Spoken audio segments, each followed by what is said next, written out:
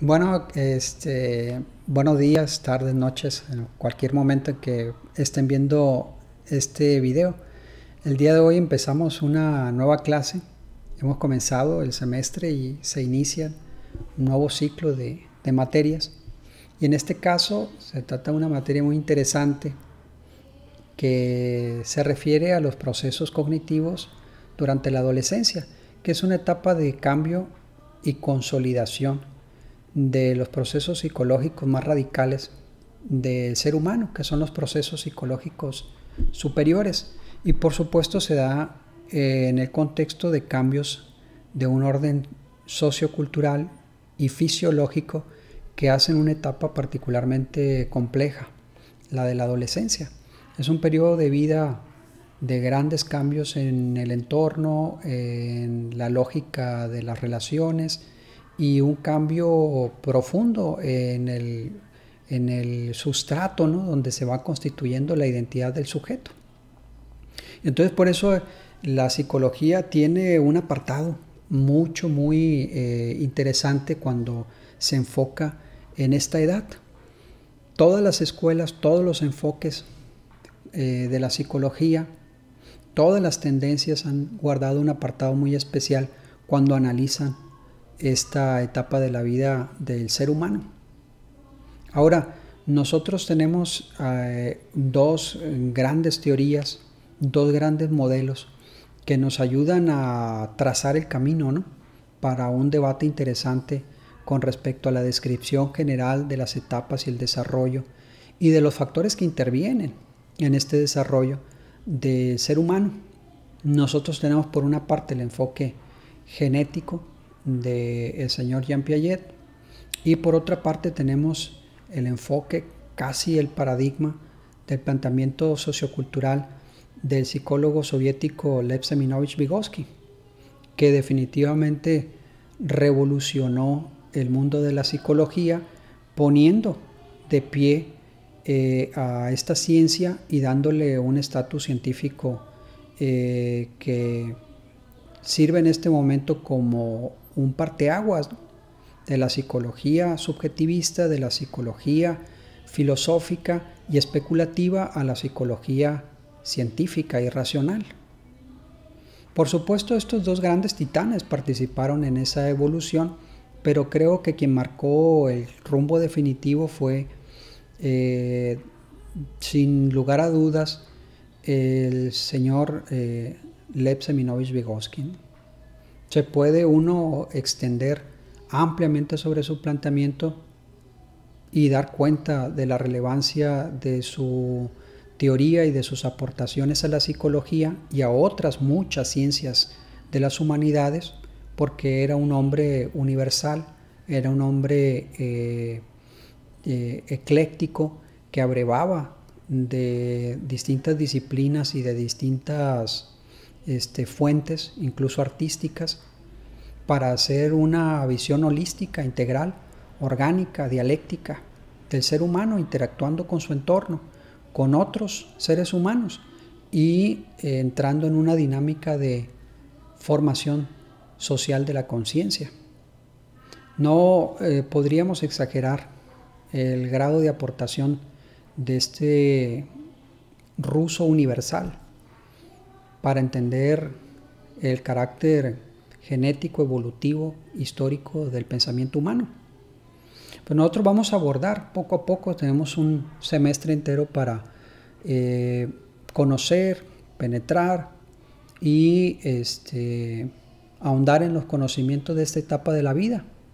Y claro, vamos a darle un enfoque práctico, viendo cómo todos estos planteamientos teóricos y metodológicos, todos estos conceptos nos pueden ayudar a crear el marco general para intervenir en clases en este nivel que corresponde a la edad adolescente. Ojo porque, como les dije, es una etapa fundamental para la consolidación, la aparición y la consolidación de los procesos psicológicos eh, culturales, intelectuales, ya de corte abstracto y conceptual. Y entonces eso va a verse reflejado en la propia dinámica, en la propia mecánica de la escuela, en los contenidos, en la currícula, en el diseño institucional.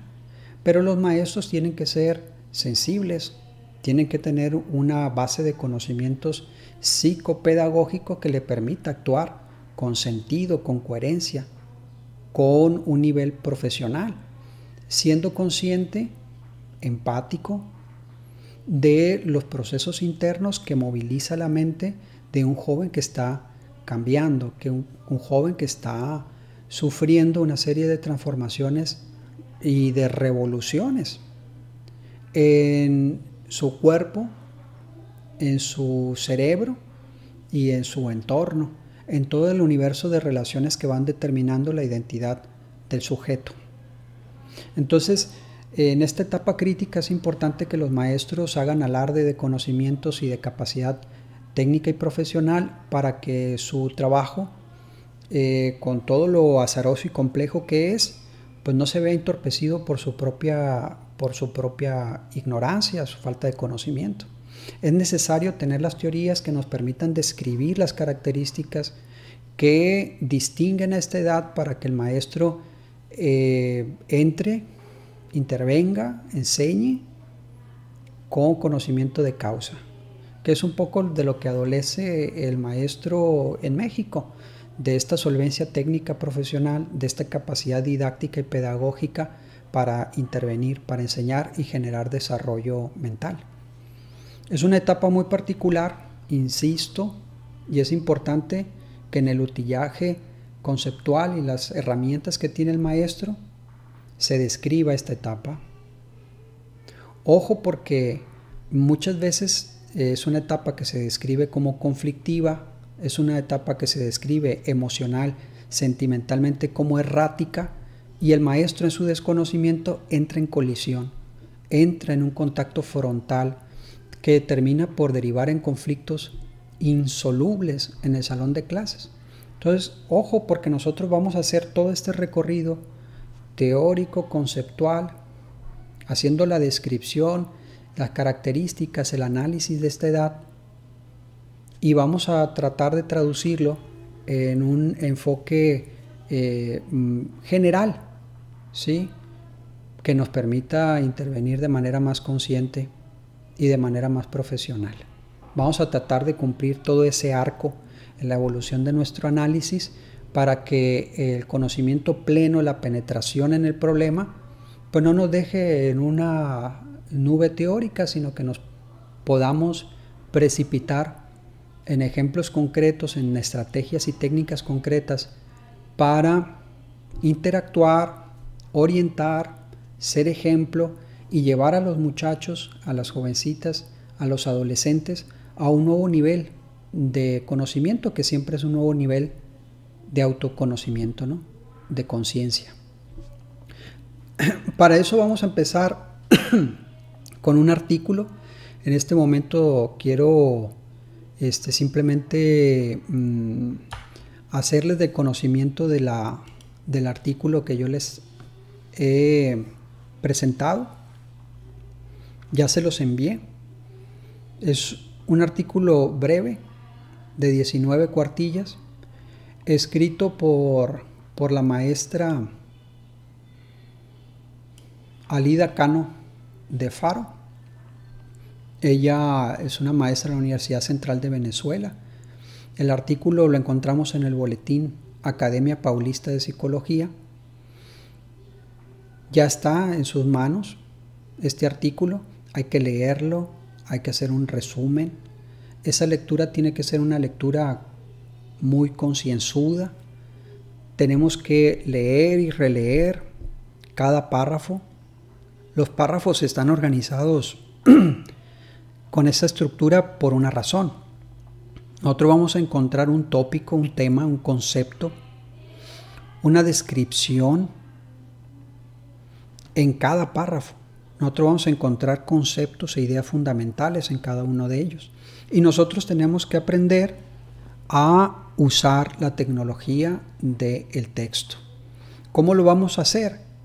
Bueno, pues como cuando nosotros vamos a conocer a otra persona, cuando nosotros llegamos in medias res y una historia se desarrolla independientemente de nuestra presencia, nosotros llegamos y hacemos preguntas pertinentes.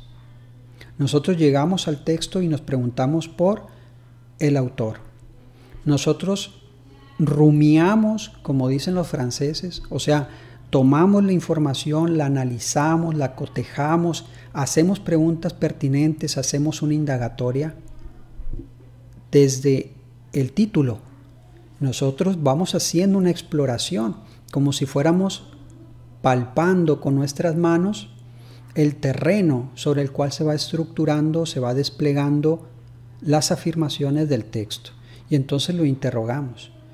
Cada concepto, cada párrafo, el texto tiene que ser visto a la luz de una interrogante. Y entonces nosotros empezamos a dialogar con el texto. Por eso les he comentado insistentemente que todo artículo, que todo texto que está en nuestras manos es motivo de una eh, inquisición, de una investigación, que te lleva más allá del texto y te comunica con otros textos, con otros libros, con otros autores, con otros planteamientos. Y esto es sumamente importante porque los libros se deben a un contexto histórico se deben a un debate también histórico y nosotros tenemos que ponernos al día viendo cuáles son sus conceptos fundamentales y desvelando su significado. De otra manera, no penetramos en las distintas capas que tiene un libro, un artículo. Todo texto tiene una estructura jerárquica de significados y nosotros tenemos que tener la capacidad, por medio de preguntas, de ir penetrando en los niveles más profundos del texto.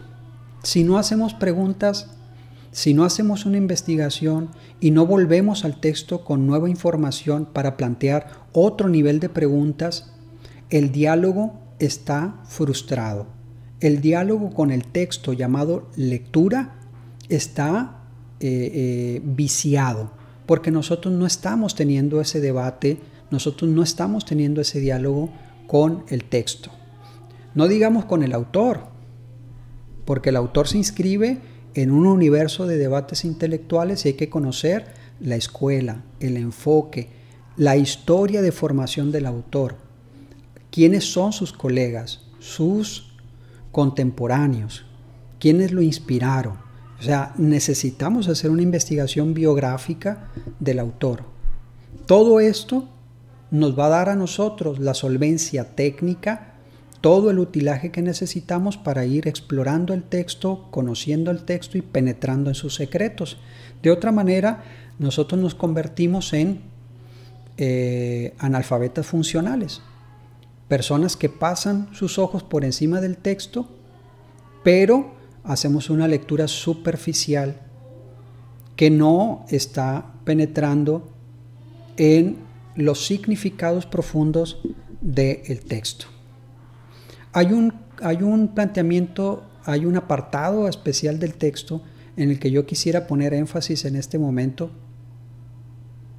que me parece fundamental entender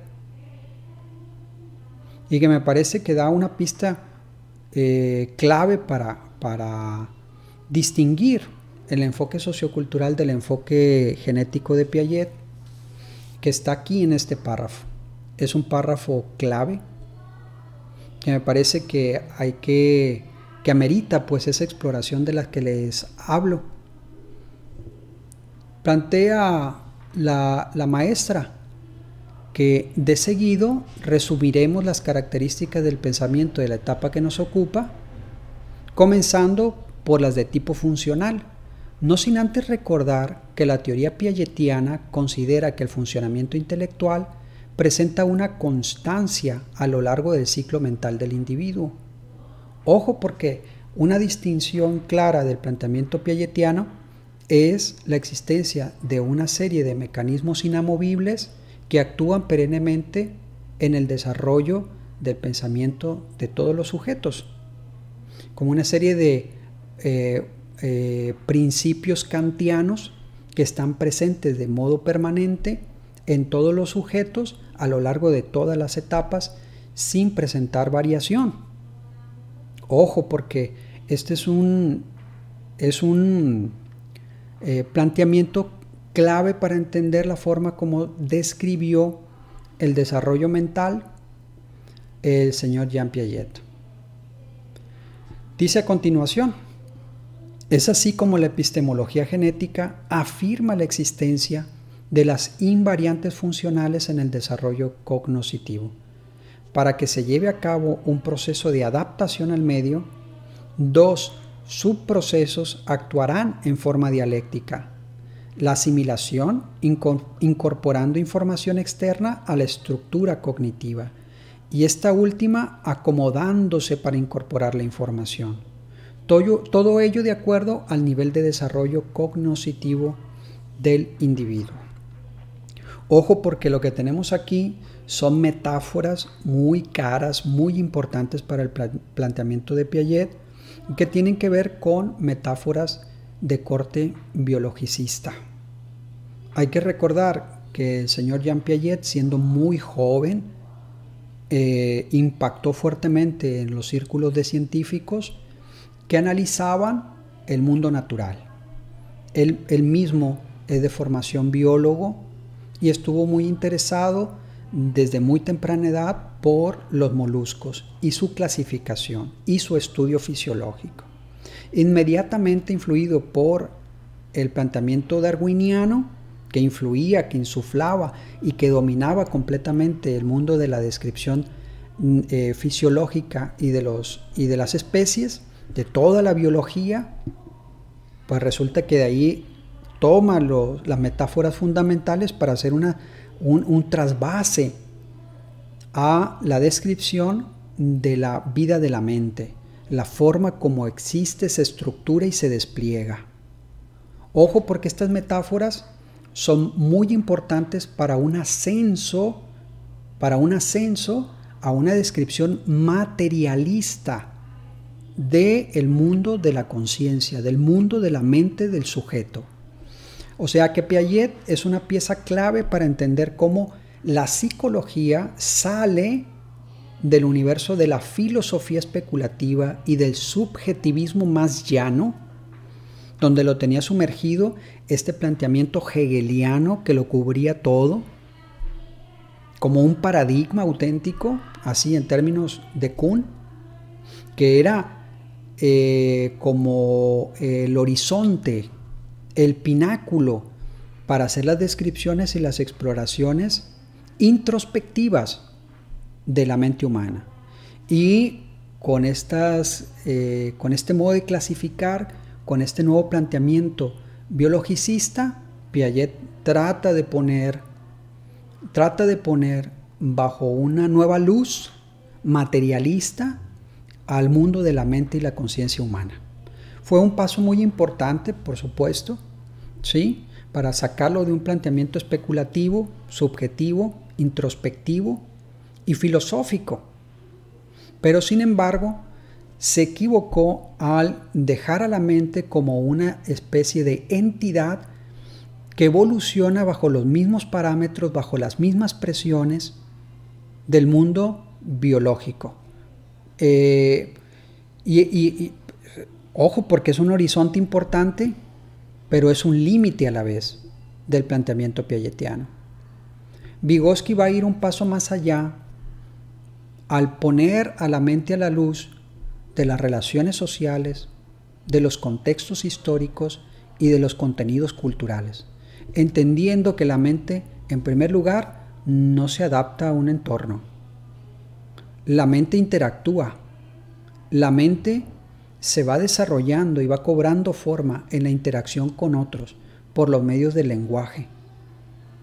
Entonces el, ser humano, su conciencia, su mente, debe de prescindir de metáforas biologicistas y insuflarse de metáforas históricas, culturales, más relacionadas con el universo de la literatura, el arte y las humanidades. Debe entenderse perfectamente bien que la mente se entiende a la luz de los contextos históricamente desarrollados, culturalmente configurados y que son los significados que intercambiamos con otros en la interacción cotidiana lo que le va dando su contenido y su forma a la mente de cada sujeto. Que hay una dimensión biológica, por supuesto. Que hay un sustrato orgánico, fisiológico, claro que sí. Y yo pienso que ahí penetró fuertemente en esta descripción su colega de toda la vida, el señor Luria, cuando hace análisis y estudios mucho, muy eh, de vanguardia, eh, eh, de avanzada científica con la neuropsicología, siempre de la mano, hombro con hombro, con los planteamientos histórico-culturales del señor Vygotsky, su amigo. Bueno, pero nosotros tenemos aquí pues dos planteamientos que se oponen diametralmente, que no pueden reducirse a un solo planteamiento, porque eh, desde el punto de vista epistemológico van en sentido contrario. El señor Jean Piaget ponderando la dimensión biologicista, individualista, con metáforas de tipo darwiniano. Y el señor Lev Seminovich Vygotsky planteando una dimensión social, privilegiando, privilegiando la interacción que nosotros experimentamos con otros y poniendo en el centro la mediación lingüística, el lenguaje como el instrumento clave para entender cómo vamos trazando una noción, un conocimiento del mundo en la medida que internalizamos los contenidos de la cultura. Eh, nosotros no podemos llegar a este nivel de penetración del texto si no vemos el párrafo este que está aquí y comenzamos y comenzamos a hacer toda esta serie de preguntas con el concurso de otros textos. Nosotros tenemos que conocer, por supuesto, quién fue Piaget, cuáles son los conceptos fundamentales de su planteamiento, cuáles son las consecuencias, o sea, qué imagen del sujeto nos aporta participar de su enfoque.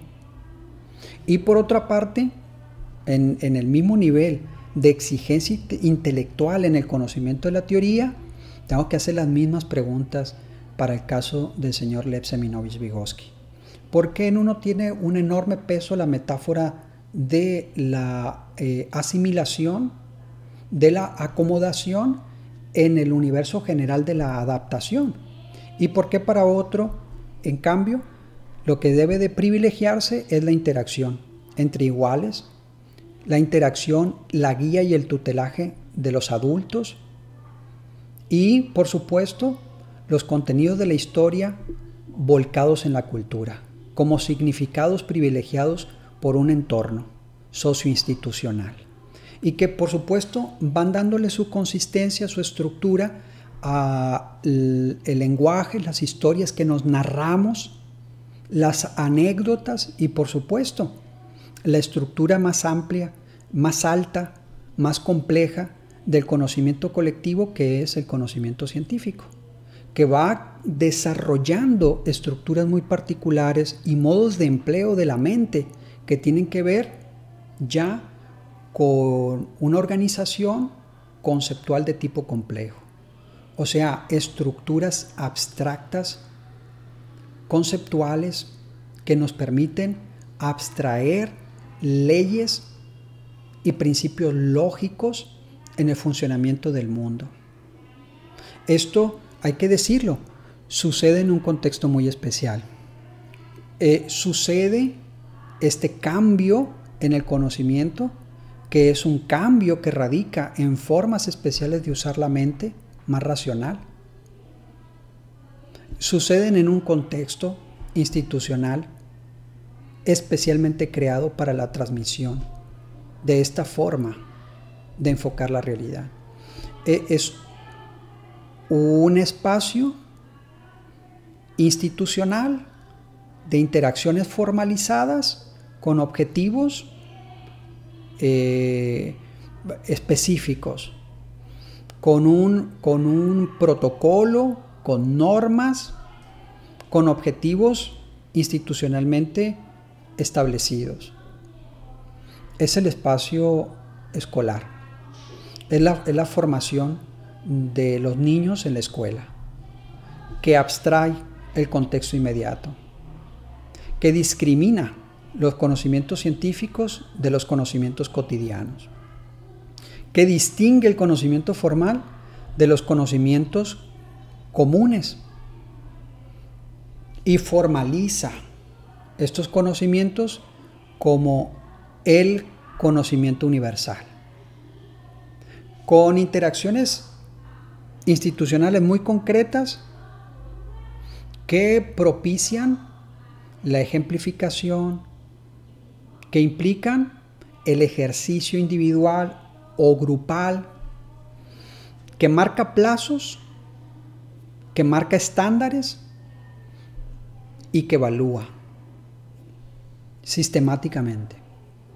Es esa, interacción, es esa interacción que a veces nos parece estéril, que a veces nos parece ritualista, que a veces nos parece mecánica, que a veces nos parece eh, mm, memorística, que criticamos por verbalista, es el contexto que de hecho va detonando, va generando nuevos, nuevas estructuras, nuevas formas de organización de la mente y nuevos modos de situarte en la realidad. Es un planteamiento que detona un uso de la mente más racional con contenidos científicos que privilegiamos como el conocimiento universal. Y es la escuela, el contexto donde se va organizando este tipo de conocimiento y este nuevo modo de uso de la mente. Y ojo, ¿no? Porque se da a la par de un, de un proceso que es fundamental y que es donde eh, eh, empotra toda esta serie de cambios mentales.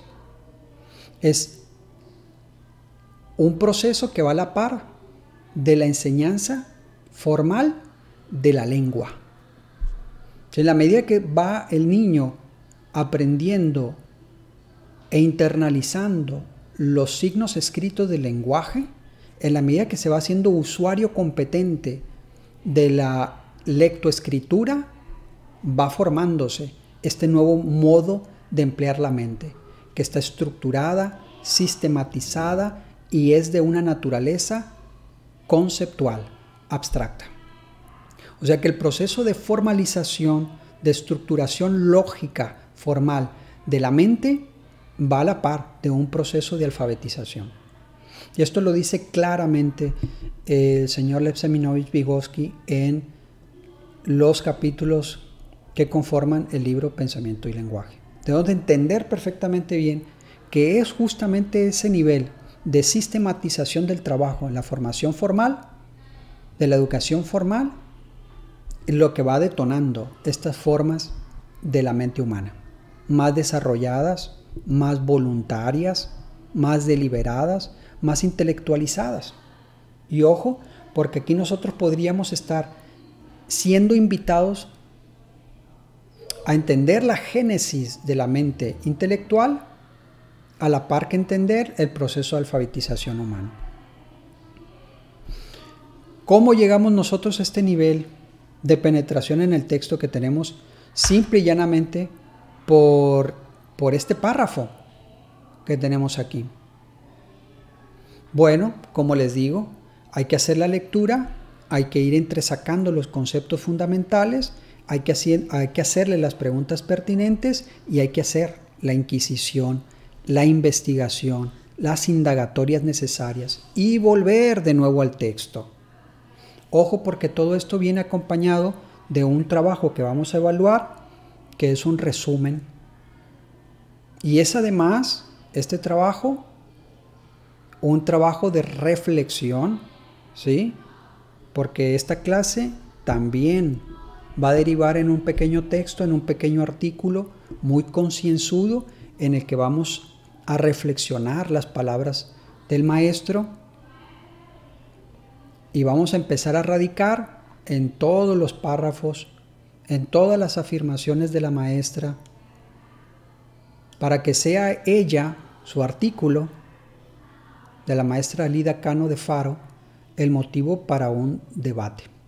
Ya que nosotros nos volvamos a ver, vamos a tener esta lectura, vamos a tener eh, otras lecturas anejas que te permitan eh, hacerle las preguntas cada vez más acuciosas, cada vez más penetrantes, cada vez más inteligentes.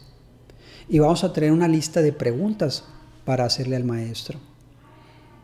Es así como se va formando una mente crítica. Cuando tú tienes el debate, cuando conoces cuáles son sus protagonistas y cuando sabes las implicancias concretas del debate, porque un Piaget habla de la adaptación y porque un Vygotsky habla de la integración del individuo a los contextos culturales. ¿Cómo Piaget habla de una especie de despliegue interno que se va exteriorizando en la medida que se asimilan y se acomodan los contenidos del conocimiento. Y cómo en cambio Vygotsky plantea un desarrollo a partir de lo social. No como desplegándose desde el interior, no, sino como viniendo hacia el interior bajo la forma de una influencia sociocultural. Eh, y, nos presentan imágenes de, sujetos completamente, diametralmente opuestos. Uno pareciera como una especie de, de despliegue de estructuras producto de un soliloquio y otro parece un sujeto integrado en su entorno, producto de los debates acuciantes que caracterizan a una época. Uno parece un sujeto este, eh, epistémico y otro parece un sujeto político. Y estas imágenes son radicalmente eh, opuestas, pero es fundamental ir trazándote la imagen de estos sujetos para comprender lo que implica participar del enfoque sociocultural vigosquiano y lo que implica participar del enfoque genético piagetiano. Entonces, cuando nosotros vayamos al texto y vayamos comprendiendo de qué va el debate que sostienen estos autores, nosotros vamos a ir poniéndonos al día y vamos a comprender. Y es así como nos vamos nosotros desarrollando como lectores competentes. Eso es lo que significa en los hechos la comprensión lectora. O sea, tener las técnicas adecuadas que te permiten penetrar profundamente en los sustratos, en los estratos del texto. O sea, tú sabes usar, tú sabes emplear la tecnología del texto y entiendes el papel instrumental de plantear interrogantes inteligentes. Y en la medida que tú te vas actualizando, en la medida que te vas poniendo al día con el debate que está allí cristalizado bajo la forma de un autor, bajo la forma de una escuela, un enfoque, y empiezas a comprender a desvelar lo que significa cada concepto clave en, los cuales está montado la teoría que tú quieres conocer, es que tú puedes ser un lector que comprende la lectura. Esa es la auténtica comprensión lectora. Nosotros vamos a ser cada vez mejores usuarios de la tecnología llamada texto en la medida en que nosotros hagamos esa investigación y tengamos mejores preguntas para debatir con los autores que vamos leyendo. Esa es una lectura honesta, compleja, que implica además un correlativo actual que es debatir con otros, plasmar públicamente nuestras ideas, interactuar con otros, y dialogar. Estar abiertos a distintas lecturas de un mismo planteamiento. Es interesante aquí señalar, por ejemplo, que un eh, Vygotsky, un planteamiento sociocultural, tiene una lectura, si lo lees, de la Universidad de Buenos Aires. Los autores, como Guillermo Blanc, ¿sí? en, el cono sur tiene una lectura que recupera este pasado, este legado, es, esta columna vertebral de tipo marxista, de la teoría sociocultural. Lo dice perfectamente bien el señor Guillermo Blanc cuando dice que no se puede entender a Vygotsky prescindiendo del planteamiento materialista histórico del señor Carlos Marx. Bien, pero si tú conoces a Vygotsky a través de las editoriales norteamericanas y empiezas a estudiar a Vygotsky a través de eh, Jerome Brunner o de Wersch, empiezas a ver atenuado el planteamiento marxista como una de las fuentes inspiradoras de toda la estructura teórica del planteamiento sociocultural. ¿Por qué razón? Bueno, porque al final de cuentas las ideas y el modo de enfocar la realidad eh, desde una teoría, pues se debe a su contexto, a su contexto institucional. En Estados Unidos no van a tener ningún miramiento para reducir al mínimo el planteamiento marxista que está depositado y que le da pleno sentido a las, a las afirmaciones vigosquianas que están allí, como una impronta imborrable en la noción de zona de desarrollo próximo, como otros te guían, como otros te alientan, como otros ejemplifican, como otros se solidarizan y te auxilian para ponerte al día con la historia que están depositados en los conocimientos. O sea, cómo a final de cuentas la mente es un producto social. Desde el punto de vista doctrinal, desde el punto de vista ideológico, desde el punto de vista de la cultura individualista que reina en las universidades estadounidenses, pues se tiene que atenuar ese planteamiento. Y entonces se habla de Vygotsky como, como un enfoque, un, un planteamiento teórico de tipo constructivista, porque se necesita atenuar este, este aspecto, esta dimensión sociohistórica, esta dimensión en la que los contextos sociales van configurando la conciencia humana, porque les interesa privilegiar una visión más individualista, por supuesto. Entonces, nosotros vamos conociendo la teoría más allá de los textos, vinculando tradiciones y conociendo el debate que está encarnado en los textos.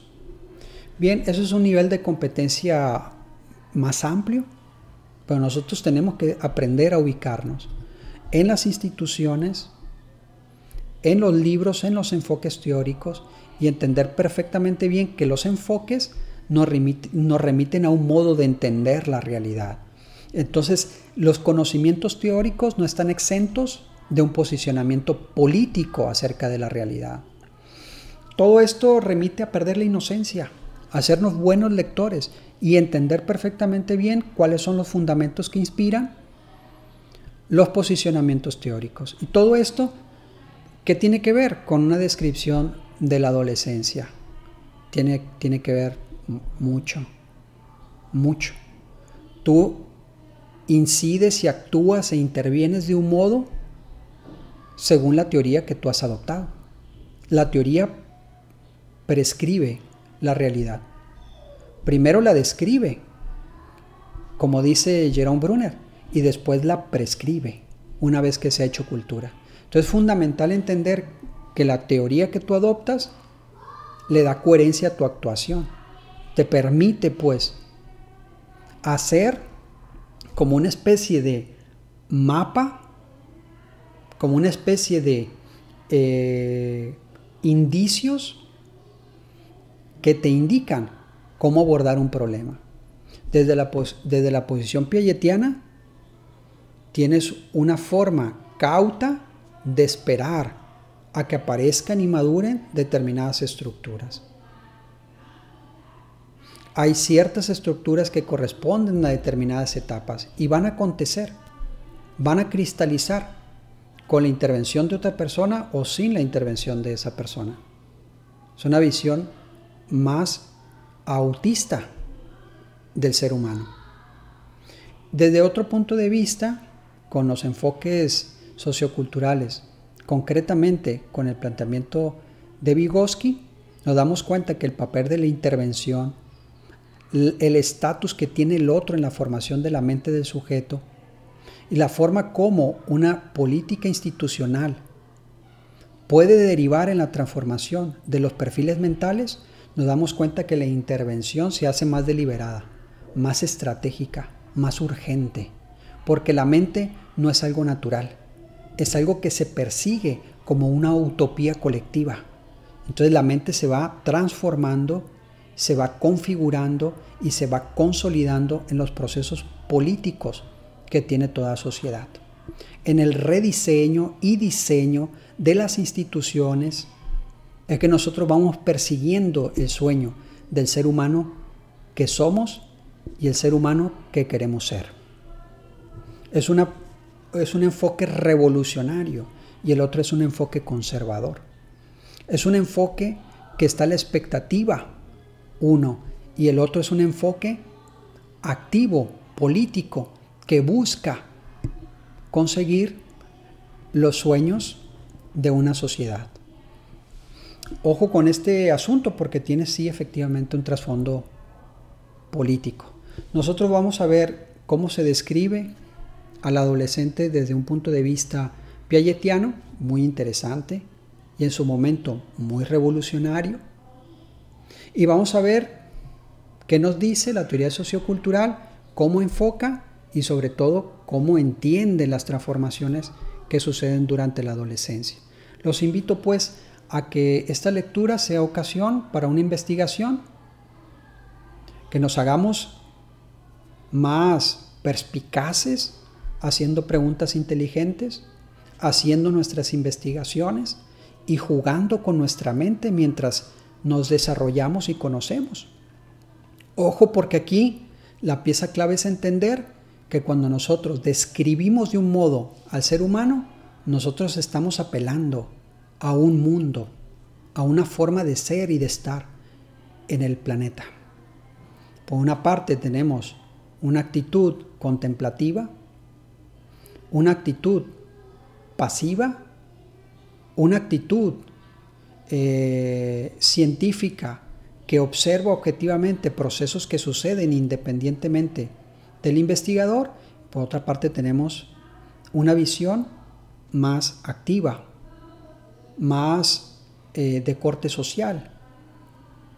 Y ojo, porque en situaciones de crisis social es importante, hasta por cuestiones pragmáticas, participar del planteamiento sociocultural. Este país, México, tiene un informe cultural muy claro de la situación social que padecemos. Estamos en una auténtica crisis, en una crisis institucional, una crisis económica, una crisis cultural. Y los sujetos que nosotros vemos a nuestro alrededor son síntomas de esa crisis sociocultural que padece México, producto de décadas, de muchos años, de padecer gobiernos corruptos, de tener instituciones destartaladas, que fueron creadas con un propósito, pero que actúan en sentido contrario del objetivo que le otorgó la ley.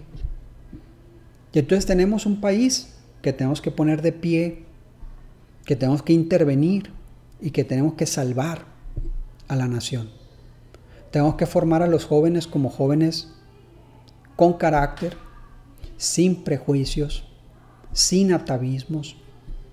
Tenemos que desarrollar la mente de jóvenes que necesitan interactuar con otros para hacerse personas de bien, que conocen de forma científica, racional, el mundo que les ha tocado vivir y que participan activamente en la transformación de la nación. Es, necesario despertar este, este componente, este, esta dimensión política del sujeto. En este sentido, sería excelente encontrar el modo de comunicar el planteamiento sociocultural de Vygotsky y el planteamiento más activo, más político y deliberado del señor Freire. Eh, ojo, porque en sus últimos años el señor Freire se dedicó al estudio de la, del enfoque sociocultural de Vygotsky y entendió y abrazó el planteamiento sociocultural.